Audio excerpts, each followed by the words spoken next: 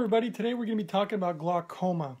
I actually want to share a story of somebody I know personally who's been drinking this hydrogen water from the Lourdes machine.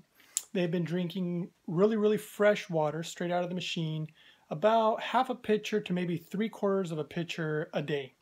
Uh, they've been drinking the, the water for over a year now. It's actually been about a year and two months.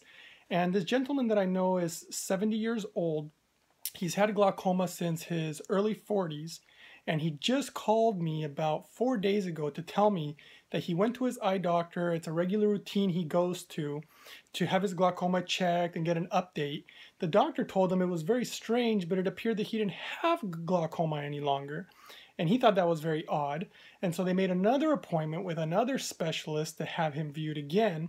And he, this gentleman's had glaucoma for like almost 30 years or something crazy. And now after drinking this water, it all seems a little suspicious, but all of a sudden he no longer has glaucoma. I did read some studies in Japan talking about how hydrogen could be beneficial for people with glaucoma. So I just wanted to post this video and give you guys an update. And don't forget to subscribe if you're liking uh, the information that I'm bringing. And I'll be placing some links below too also because people have keep asking me where they can get a Lourdes machine. Um, I've been looking all sorts of different websites and different places to find a really reliable source. So I'll put that information down below if you guys also have those questions. And we'll see you next time on the next video.